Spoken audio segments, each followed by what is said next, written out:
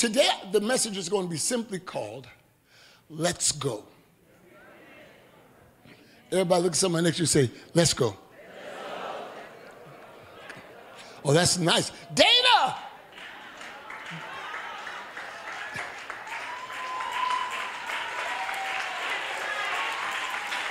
Dana! Dana had that. I don't know where you got that picture of me from. Because I kind of try to keep it on the down low.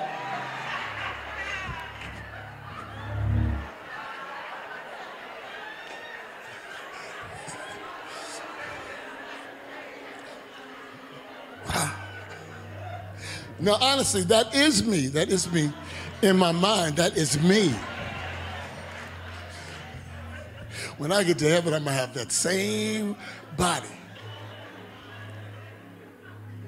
But somebody scream, Let's go. Let's go. It's time for us to move. We have been prepared for this forward mobility every Sunday and every Wednesday in house and in your personal prayer and study, you have been prepared for your future. Oh, that was a weak amen. You are not prepared just to sit idly by after getting all the word that you've gotten and let life just pass you by. It's time for you to make the most of your days that are left here on this earth. It's time to go into your future, even if you go in a little fearful. It is no problem and it's no shame going in with a, with a, uh, with a modicum of fear because fear is not wrong. It causes you to be cautious. The spirit of fear consumes you. And God has not given you a spirit of fear, but fear is an emotion that's a part of us. And sometimes we use that scripture to keep, as an excuse to keep us from going into our responsibility.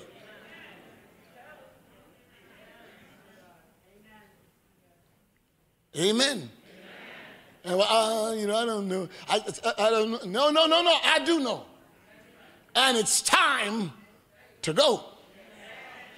It's time. My future is sitting back with its arms folded, waiting on me. I don't hear anybody. The Bible said in the book of Romans, the eighth chapter, said the earnest expectation of all creation is waiting. The expectation of all creation is waiting for us to manifest and go forward. This is going to be harder than I thought, Lord. The earnest expectation of all creation is waiting for the manifestation of the sons of God. Meaning everything in earth that was been placed here for our benefit and our future is waiting on us. The expectation of that which is created waiting on us is, is, is, is holding up, holding in a cycle waiting for us to get our act together and get moving. No, no, no. I'm going to preach this if I deal with one person. I will preach this if I'm dealing with one person. You have got to realize that Christianity is not a place of dormancy and stagnation. Christianity is not supposed to be a place where a bunch of people just come and sit around and, and, and, and, languish away and let life pass you by. Well, and you know, they used to teach us some crazy stuff. They used to teach us that if you was rich, then you was wicked. They used to teach us that, all, all that kind of stuff, you know. Oh, look at them with all that. That's a wealth of, that, that, that's wickedness. And they taught us a sense of poverty. And we would hear testimony after testimony about sickness and people that are sick with my condition and all. You know, pray for me with my condition and all. And, and the more sick you were, the more holy somehow. The more impoverished you were, the more sanctified you was. Amen. If you put on a little bit of rouge, Jezebel. Don't you put on no, no, no, no, no, no earrings. That's a devil. Y'all sitting up here now with your hair all braided up. They said braided hair was of the devil. Anybody remember? Amen. You out here with your arms out and, and your neck showing. That's a devil. You cover your neck up. Put on them long sleeves. Put a hat or a doily on your head.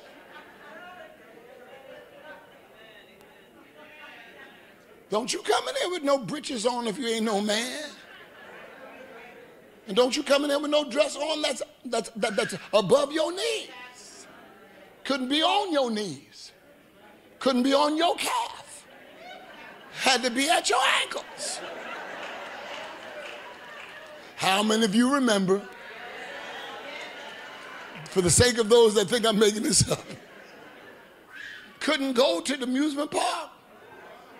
And if you did finally get a chance to go, you had to wear long denim a long denim skirt down to your shin. You always knew the Christians at the amusement park because they looked mad. And they was hot all the time.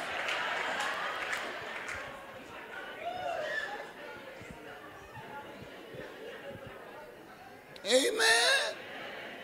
Don't you put an eyelash on. Well, don't you put no eyelashes on. You sitting up here looking like a harlot with eyelashes. You know those ain't your eyelashes. God gave you eyelashes. Be proud of the eyelashes God gave you. Couldn't go to the movies because they said you were sitting in the seat of the scornful. Does anybody remember? Couldn't play with Monopoly because there was dice in the Monopoly.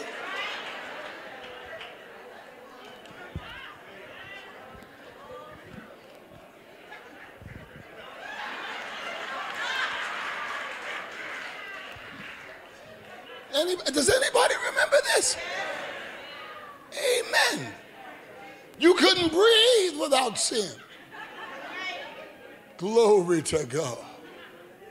And, and there, there, there were so many different things that happened and so many different uh, dogmas.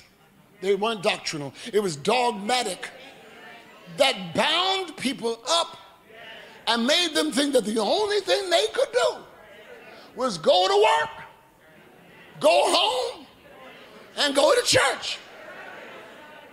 That's all you could do. Go to work. And on your lunch break, go in the bathroom and speak in tongues. Come home, eat a meal, watch Carol Burnett. Because they did let you watch Carol Burnett. And for some of you older people, watch the stories. Couldn't go to the movies, but y'all could watch the stories. Y'all know Erica Kane personally.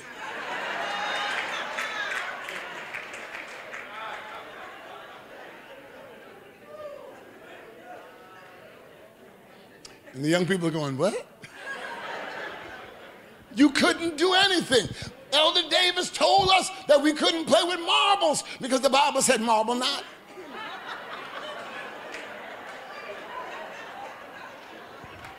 Y'all think a brother's making this up. I'm not being Dave Chappelle up here. I'm telling you the truth. That's what they raised us up to believe that all we could do was go to work, school, come home, and go to church. And, and I realized that they did the best they could with the little knowledge that they had. I don't condemn it but I do know that there's more to Christ and there's more to life. I my, my life is not going to church because I am the church. I didn't hear anybody here. You don't go to church, you are the church. The church is the blood washed, called out people who have bowed their knee to the lordship of Jesus Christ. We are the living, talking, walking, breathing, walking advertisement and billboard of God's grace. We are the church. Let the church say amen. And at this point in life, it's time for us to make up for lost time. It is time for us to move forward. And as the Lord gave me this last night, and I laid on the bed, and He gave me Joshua 3. And it's a very familiar passage of scripture, Joshua 3 and 1. If you give me, Bobby, put 15 minutes, no, that's good, 26 minutes good. That's all I need. I almost, I almost shortchanged myself. But in the book of Joshua, the third chapter, Christians, get this. You've heard the scripture before.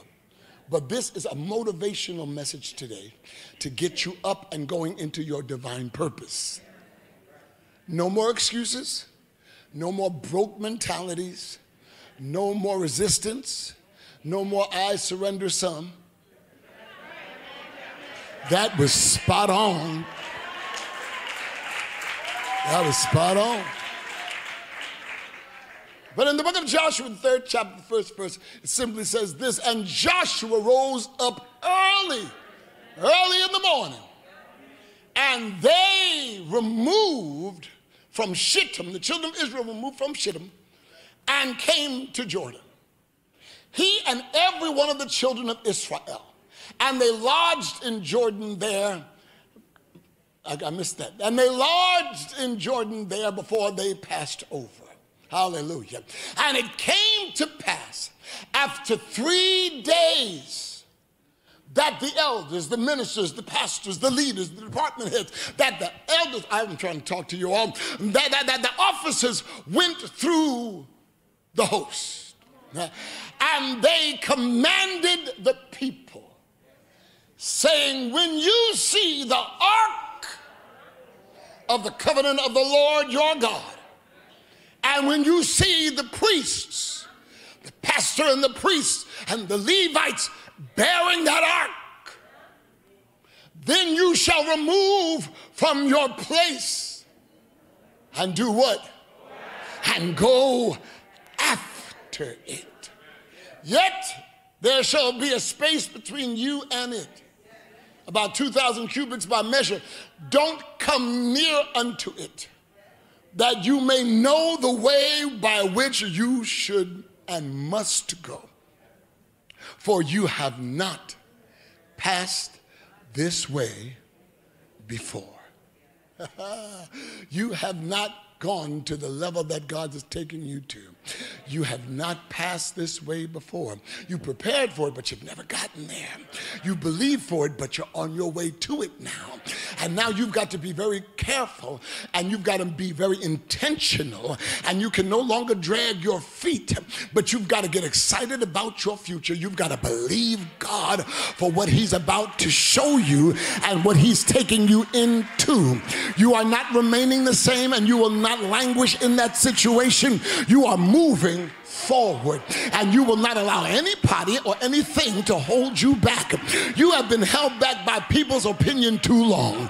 You have been living in other people's memory for too long. You've been afraid of what people think about you for too long. It's time for you to break ties and dust yourself off from their opinion and get yourself ready. Because when you see the Ark of the Covenant, when you see God taking perfecting faith into another spiritual direction, you've got to be able and ready to pick up and move along with it. Somebody say, Let's go. Let's go, let's go, let's go, let's go, let's go. It is time for us to be uncomfortable. It's time for us to get uncomfortable.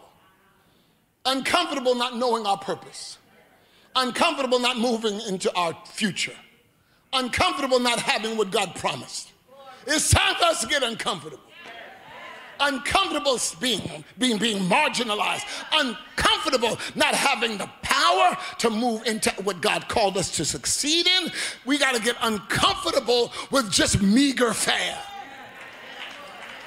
We got to get uncomfortable with just a meager existence. There's got to be more. He made some exceeding precious promises.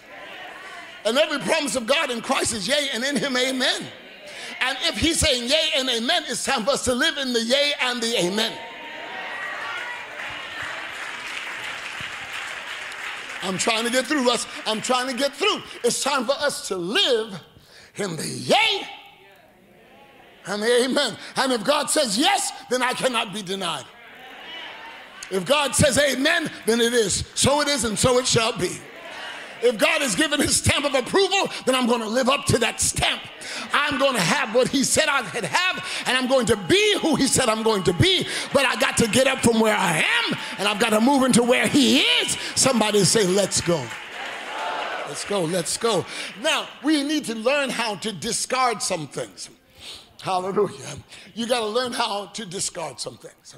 When you're about to take a journey, you don't put dirty clothes into this, this suitcase moving into a journey. You, you, you got to change and you got to get rid of those dirty clothes and you got to put on fresh clothes and, and pack fresh things that will cause you to be ready for where you're about to traverse to. Hmm. I don't hear anybody. We're not taking old things into where we're going right now. We're not taking old dirty thoughts and, and old broken mentalities and old struggling fears. We're not taking that into where we're going. We're not taking our excuses with us. We're not taking our reasons why we can't do. We are no longer making excuses that negate who God's called us to be, we are standing strong in his promise. And even if our knees are shaken, we're still standing there and moving forward and not allowing any more time to slip by.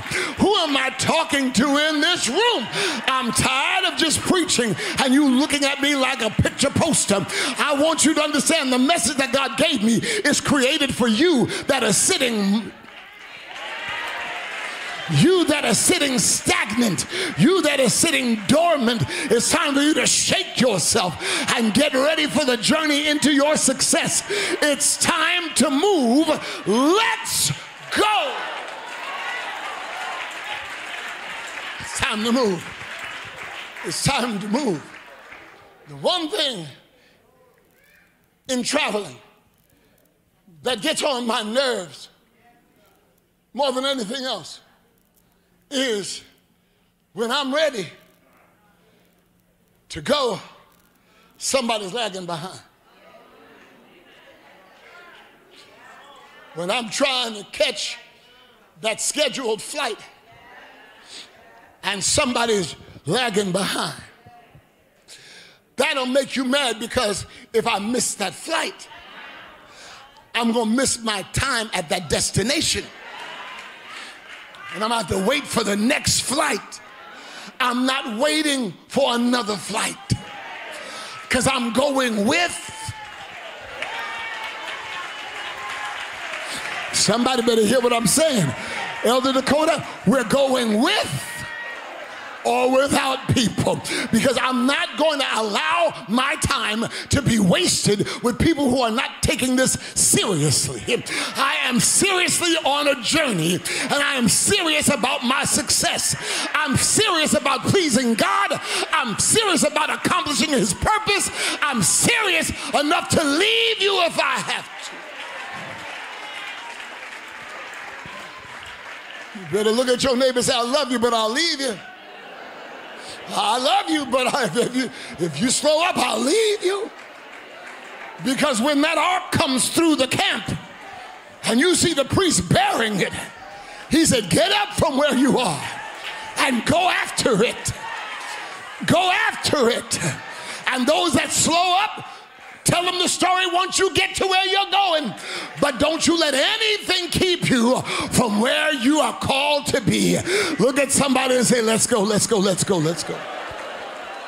Let's go, let's go, let's go, let's go. Because there's a destiny waiting for me. There's a destiny that is exciting and new waiting for me to get my act together and to get on the road called success. What is success? Obedience to God is success. You better hear me. Because what does it profit to gain the whole world? Lose your soul. So the things are not success, but it's the obedience to God that is a success. And the way I'm moving now, I can't slow up. The way I'm going now, I can't deter. I got to stay on the road he put me on. And I got to start moving at a faster clip because I'm already gassed up. I'm already had my tune up. I'm already prepared. Y'all don't hear me. After all the word that you received, you're already gassed up. Out of all the praying that you've done, you're already tuned up. Now it's time to get on the road and to move forward. I don't hear you. It's time for you to get your act together. Get yourself moving and understand that if nobody else approves this, God has already said yes. God has already put the stamp on it. God, I'm about to run. Melissa, I'm about to run right now because there's, there, there, there's a move going on. Can't you see it? Right in this church, we are at full capacity on this Sunday we are almost back to normal, but not to be normal, but to exceed normal and to go strong into our tomorrow. Who am I talking about? Who am I talking to?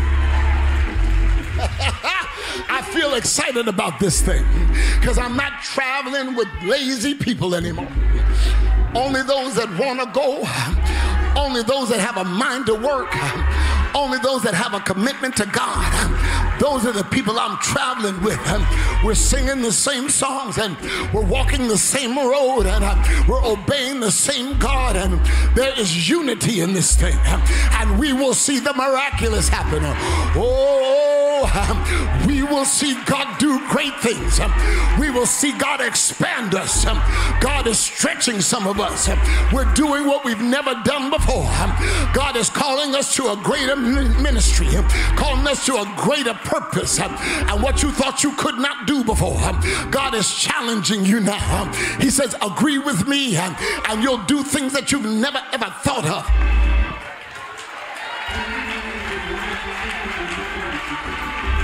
Sanctify. He said, If you agree with me, you'll do things that you've never done before. I feel like I'm preaching, and my time is up. In Joshua 3, verse 5, he said, Joshua said to the people, Get ready to move Joshua said to the people, Prepare yourself for the journey. Joshua said to the people, Purify your hearts and minds.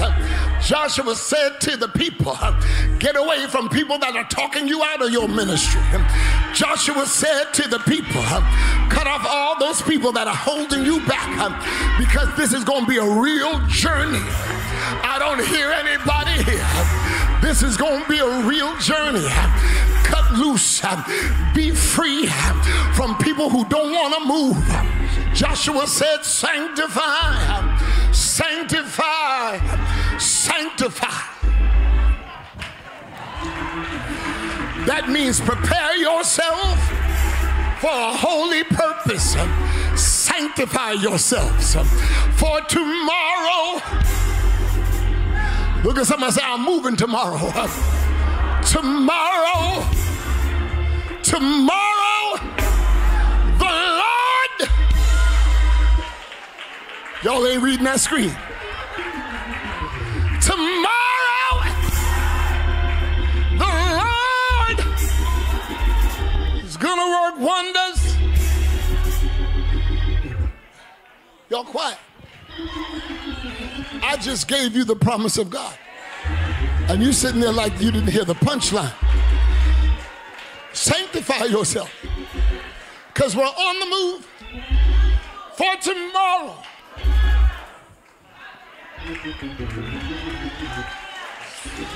For in the next days to come, God.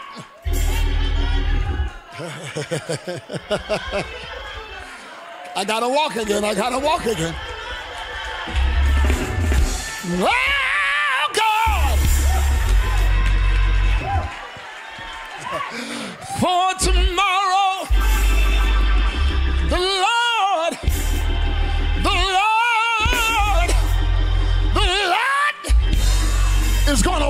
wonders among you, but only those who are on the move, only those who go after it. You'll see the wonders of God as you go after it, as you let go of your anchor and move into the deep waters. Walk into your journey. Who am I talking to? Somebody put a praise on it right here. That ain't no praise.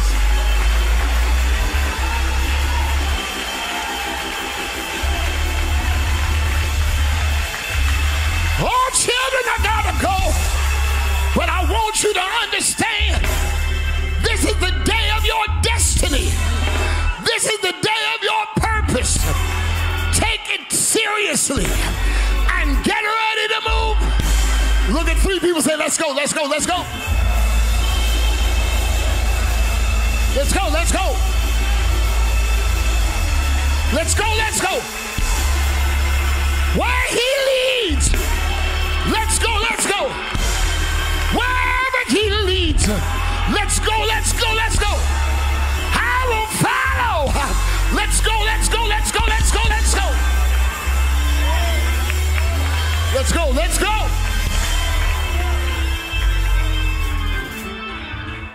I don't. Ah, I know the history of Perfecting Faith Church, but I cannot live in the history. I remember the history to get to my destiny. My history will not prevent my destiny.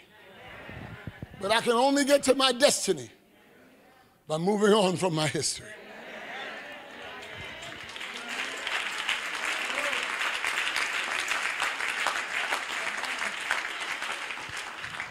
Can only get to my destiny.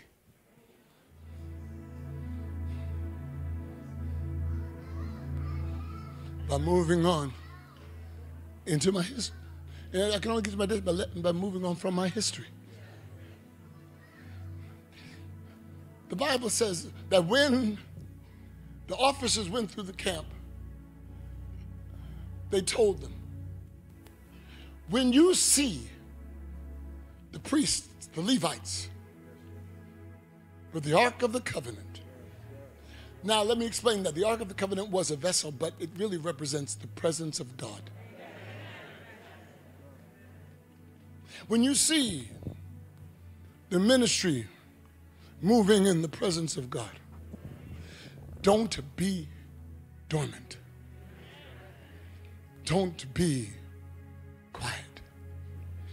Don't sit back and let that time pass you by because of what people may think about you. They're always so loud. I don't understand them. It doesn't take all of that.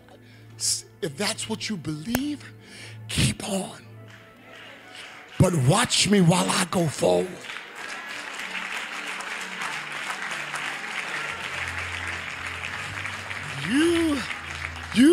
Don't have to. You don't have to if you don't want to. But watch us as we go. And the us know who you are. You decide whether you're us. oh my God. Watch us, Pastor, as we go, as we go forward, as we go into our No, no, no, no, no, no, no. I would to God that the whole church would hear this in house and online. I would to God that the whole church would hear that and get so inspired that this place could never hold us as we move forward. That everyone would come to play and would be ready for the next dimension. No, here. There are people that God has ordained to be anointed for the next dimension. Because you cried in your past, but you didn't let go. No, I don't mean let let's go. You didn't let go of your faith.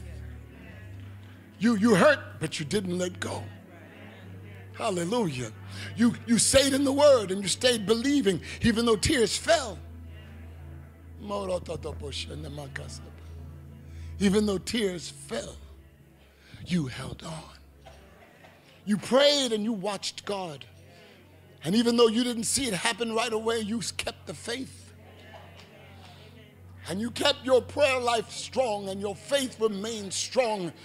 And you, and you refused to be uh, uh, refused and you denied to be denied and, and you, you, you believed that one day one day the anointing is going to be on me and destroy every yoke and one day the calling of God is going to be so strong the calling of God is going to be so strong. One day the doors are going to open. One day the road will be made plain. One day I'll be free from the anchor of my yesterday. One day I'll be able to move into who God's called me to be. I've been doing for a long time, but now I'm about to become. One day, well, I got news for you. Today is your one day. Mm, I heard that. I heard that. I heard that faith cry. I heard that faith cry. Today is your one day. Today is the day that the chain that anchored you to your past is destroyed and broken. Today is the day that the yoke that held you around your neck and limited your moving is destroyed because of the anointing. Today is the day that your creativity and the ministry rises up in you. Today is the day where you lose your mentality of poverty and move into prosperity. Today is the day that you look at those who believe with you and you say, Let's go. Let's go into our future. Perfecting faith, let's go. Let's go into our destiny. Each of you individually, let's go. There's much more work to be done. Hallelujah. For your family, let's go. We have lived under a curse long enough. It's time for us to live in the generational blessings. Let's go. Take all that's precious to you and move. Let's go. Use your obedience to his will and let's go. Let go of people holding you back and let's go. Grab a hold of people that are moving in the same direction and let's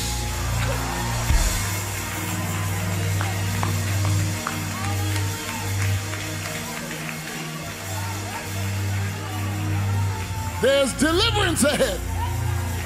Let's go. There's healing ahead. Let's go. There's prosperity ahead. Let's go. There's salvation for your loved ones ahead. Let's go. There's joy ahead. You can leave the pain behind. Let's go. There's peace ahead. You don't have to worry anymore. Let's go.